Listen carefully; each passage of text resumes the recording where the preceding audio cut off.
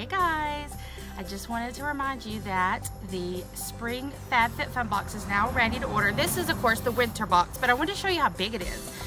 You get over $200 of products, but my winter box wound up being $305 in products. So I have some spoiler alerts for you. Um, you're gonna see the choice you're gonna get from your, your first choice will be choosing between that beautiful floral robe, the super cute fashion backpack, and the oil diffuser. So I'll show you those pictures here in a second, but make sure to use my link and I'm so excited about spring.